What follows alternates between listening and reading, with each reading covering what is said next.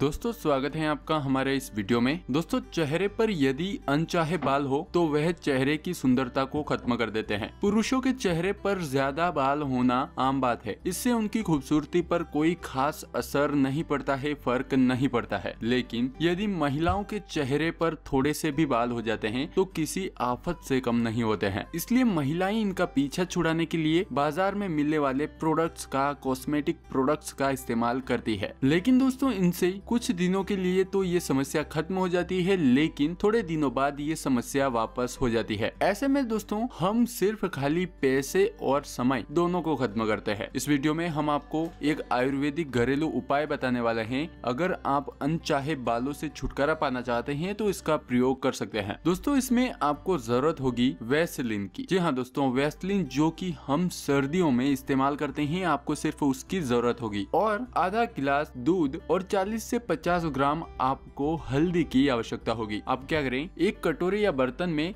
इन सभी चीज़ों को लेकर अच्छे से मिक्स कर दे। दोस्तों, आप इन तीनों चीज़ों को अपनी आवश्यकता के अनुसार मिला ले। जितनी आपको आवश्यकता है, उतना इन तीनों को आप मिलाकर पेस्ट बना ले। उसके बाद इसे अपने शरीर में उन भागों में लगाना है जहाँ से आप अपने अनचाहे बालों को हटाना चाहते हैं। इस पेस्ट को लगाकर लगभग 10 मिनट तक आप लगाकर रखें। उसके बाद दोस्तों, इस पेस्ट को आप हटा दें, आप देखेंगे कि अनचाहे बाल जो है, वो हट जाते हैं, खत्म हो जाते हैं। दोस्तों, इस उपाय को आप सप्ताह में फिर से प्रयोग में लाएँ। दोस्तों, इस उपाय को आप सप्ताह में दो से तीन बार करें।